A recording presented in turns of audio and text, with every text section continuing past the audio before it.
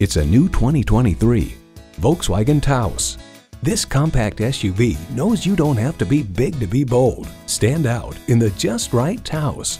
It comes with great features you love.